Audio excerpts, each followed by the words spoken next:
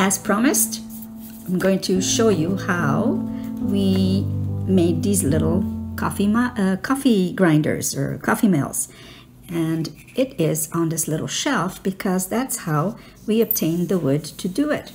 And I'm going to show you, maybe sometime I'll show you how to how we built this.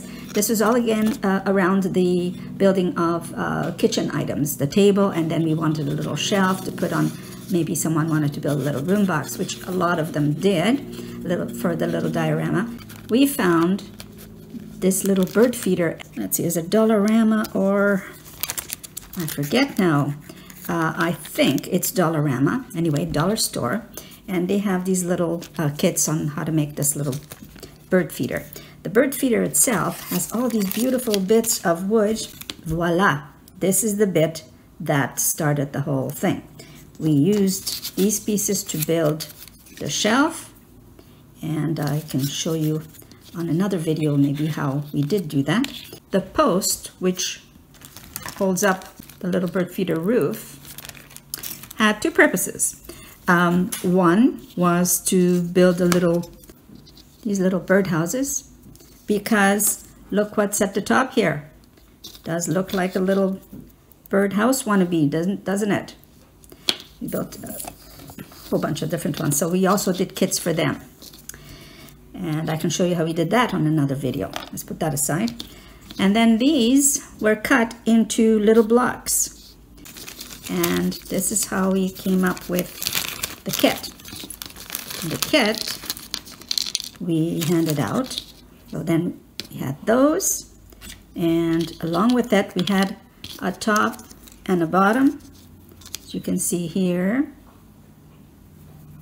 top and the bottom. These were rough cuts and then people were to, to do um, the exact cut afterwards. This little bit here is also important because that becomes the little drawer. Whoops, this little, here, little drawer. And we have the bowl, found these in my beads, that's it.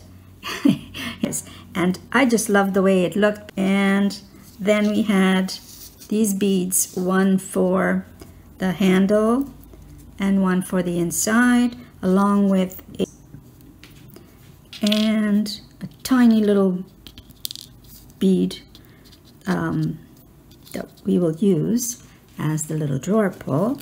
I also used a little sequin to give the bow a little bit of a base. Okay, let's talk about these two little bits of wood. Obviously, it's not from the kit, uh, the, the, the bird feeder kit, because this is too thick. If you were to add this onto here, it becomes way too thick. As you can see, this is seems to be a nice thickness. There are various ways that you can get that. Now, this little bit here that I have comes from um, my supplies in wood shop, um, and it's just some tape uh, that you get from the hardware store. Please do not go and, and buy a whole bunch of tape like this. Um, it's wood tape and it's meant for and for edging um, pieces in the wood shop. Um, and it has glue on the other side because it gets ironed on. However, it's expensive, so don't do that. There are different ways to get this little bit of wood. Um, you might have some of this kind of plywood. It's very, very thin plywood in your, um, you know, in your uh, hobby room already, this is really, really a nice um, thickness for that. Um, this kind of little one is also not bad. As you can see, it is not as thick as the other one. Prefer to use, I don't know if you're familiar with it, is veneer. This is another kind of veneer which is paper backed um, and that becomes really nice um, as well.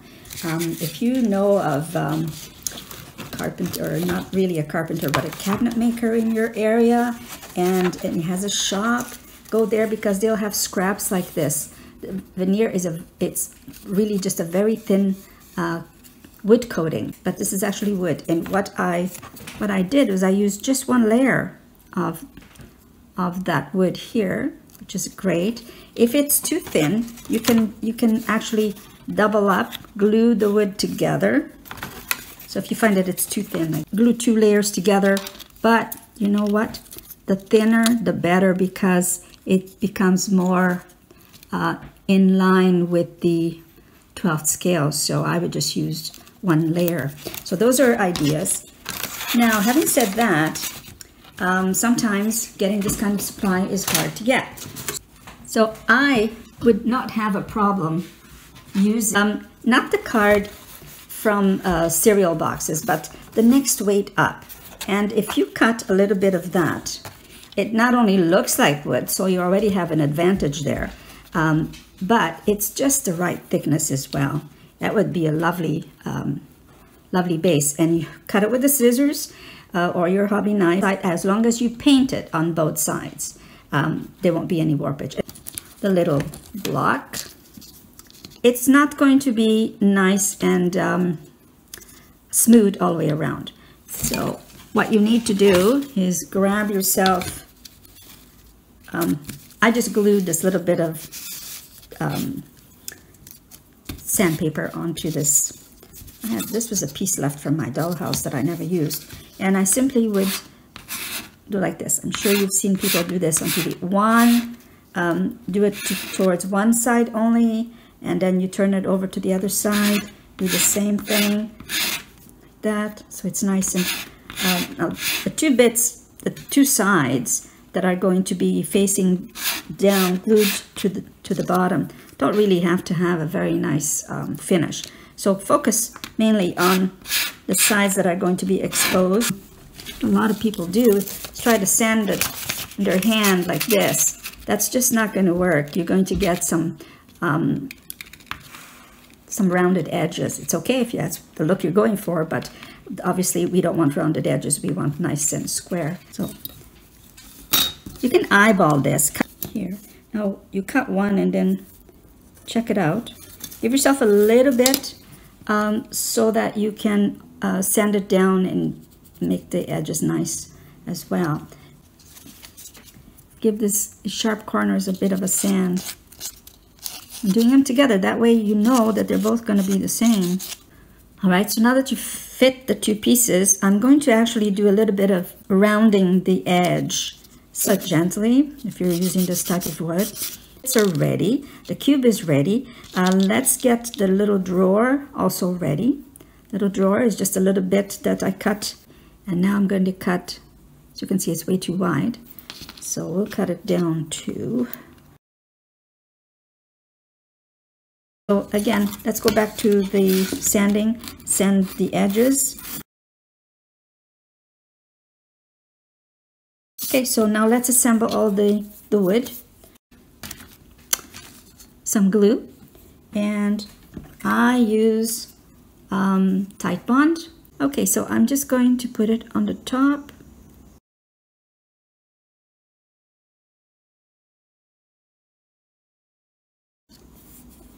If you intend to use wood varnish or wood stain, make sure that your wood does not have glue on it because, uh, so clean, clean your edges nice. Wood stain does not take to glued areas.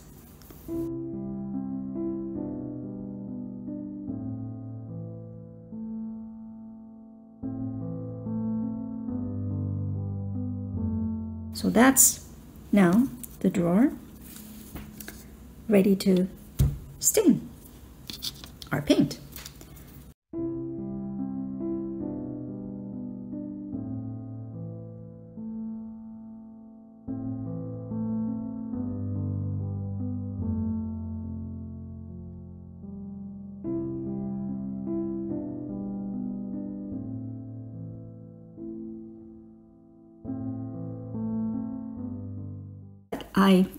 Did two coats and I found that it really hid all the nice wood grain. So I went over it and I just took a, a toothpick and I scratched it a little bit and it brought out some grain. It doesn't look as nice on camera, but it is uh, quite effective when you see it in, in person.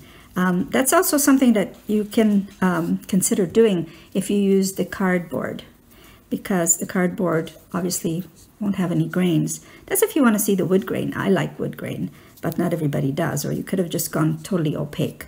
Anyway, that's going to set aside. Now let's talk about the top bit, which is the bowl and the handle.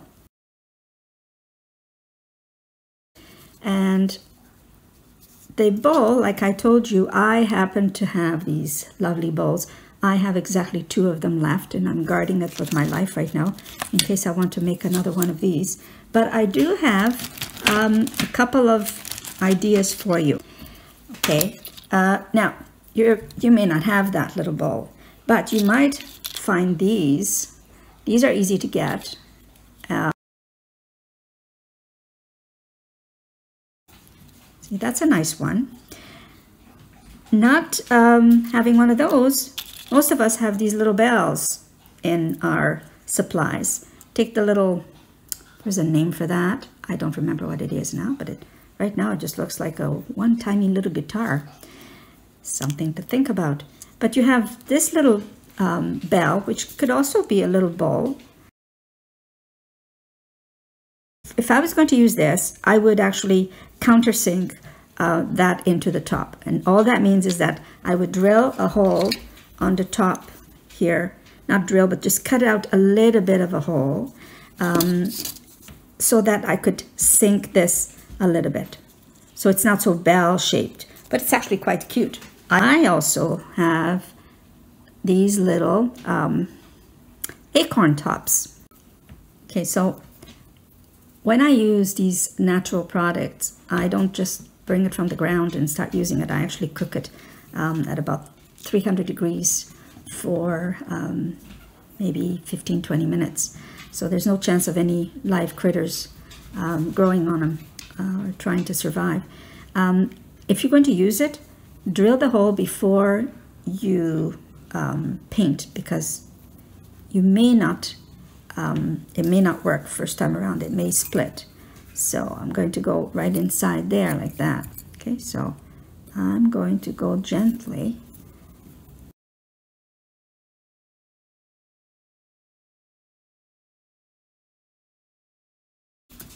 Going to enlarge it with this thumbtack. Well, it's various ways to handle stuff, I guess. And I'm if I decide afterwards I want it to be shiny, because it's not going to be very shiny, it's um, going to dull up a little bit. Give it another coat. Clumsy with stuff like this. So that's done. All right. I have the little guy here. It's ready to go. Good thing about enamel, it dries fast. I'm going to use the little base. But before I do, I'm going to use the little base. It's shiny, it's very shiny, but it doesn't matter. It's going to be covered. It's just a little more substance, a little more detail. Um, it's going to go there, that's going to go there, and then the handle goes.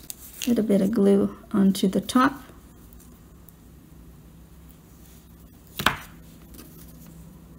Here.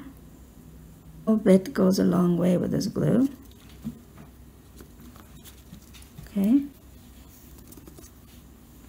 Then you know we'll um, drill into the wood. And that'll help keep the handle in place. Now now you're going to glue the acorn top I mean the bowl. There and then I'm going to sit it on the center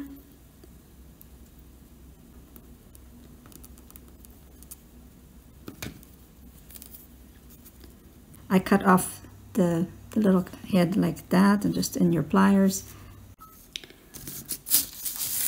Okay, so you have that glued on.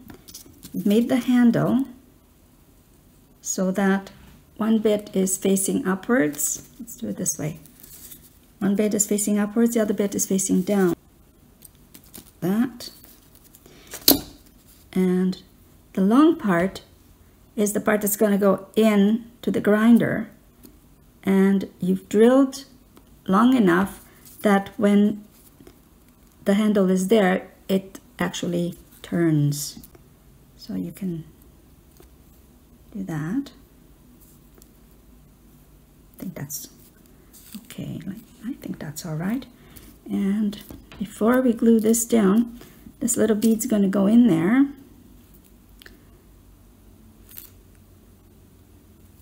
That. Oh, came right out. Okay. Now that little bead is loose, so you have to be aware of that. Oh, once you have it in there, drop in a little bit of crazy glue. Um, so you, it, you can barely see it, but it will it will make sure that the bead doesn't come off. And that's on the on the bottom here. Or you know what? Uh, clear nail polish. Just drop it right in there. I'll point it out to you here. Drop it right inside there. Okay, let's see here. Okay, drop it right in there. It'll hold the bead down and yet will still give you the ability to turn this little handle. That is just little details. It's fun. Am I pushing that in far enough? Okay, there you go. This one, the first one that I did, is stable. Little improvement as we go along. This one is mobile. And then you're going to take this one and we're going to add a tiny bit of glue to the top here. This is um, Gorilla Glue. I play around with a lot of different glues. It's whatever sort of comes to, to my hand and works. Okay, now that that's there,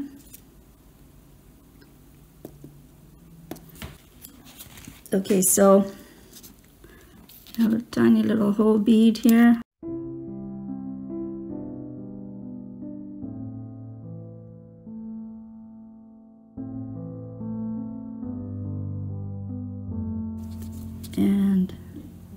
The little handle. So here we are, the one we just finished and it moves and here's the one that I had done before. The one that was my demo for the workshop and the one that I just did now with the acorn top as the little bowl, which I think I rather like it. Anyway, Hope you enjoyed it. Make one for yourself, one for a friend, and um, hope you come back for the next video. Don't forget to like and subscribe and hit the bell for notification of our upcoming videos. Keep checking. Thanks again and be safe.